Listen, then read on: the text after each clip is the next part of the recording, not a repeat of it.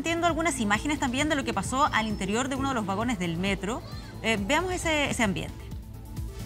Todavía sigue arriba del tren.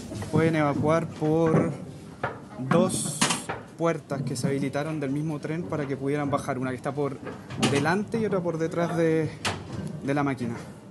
Eh, todavía hay mucha gente arriba que está tratando de, de tomar una de las dos puertas para poder salir y caminar hacia la estación, en este caso Santa Lucía, porque nosotros quedamos atrapados entre Universidad de Chile y Santa Lucía.